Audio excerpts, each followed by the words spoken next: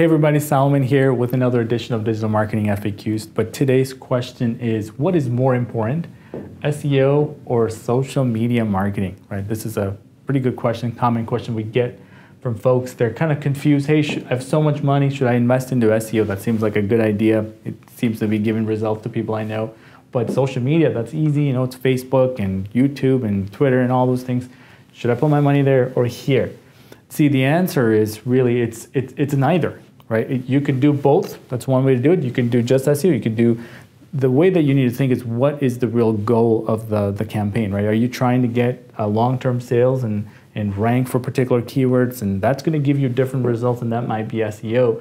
Are you trying to build brand awareness, right, and to get people to know your brand, get engaged audience, and then perhaps build that up organically and then you can later on sell them stuff right run facebook ad against people that like uh, your page and just really organically do it and just get engagement and get maybe user generated content that would be something that you would want to be doing with social media uh, in many cases you might want to do you know ads as well as organic seo as well as social media all at the same time because if you're really trying to be aggressive and grow quickly you're going to need to use this and more. So uh, if you're in a limited, tight budget, right, you're just getting started, start with social media. It might be the thing that you can do internally without having a lot of external resources, shooting your own pictures and videos, whatever it might be, going out there, going on Facebook Live, just letting the whole world know you exist, send an email blast, and so people to follow you on Facebook.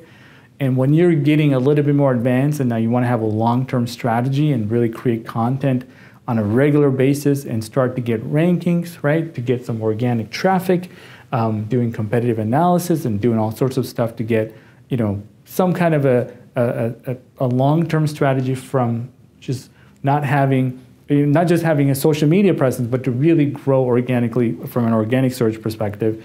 Keyword rankings, blog posts, looking at other websites that are relevant to you and getting links from it that's going to take a lot of effort. It might even require external resources.